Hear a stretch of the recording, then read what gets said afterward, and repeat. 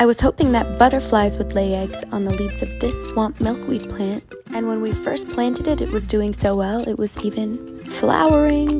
But instead of butterfly eggs, we got insect eggs. They were aphids or aphids, don't come at me. And I went all around my plant, and there they were. And I got so caught up in getting rid of the bugs with this solution that I didn't even realize the seed pod was right there.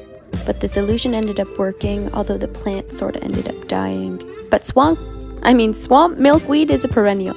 So it'll come back. This is what it looks like now. Update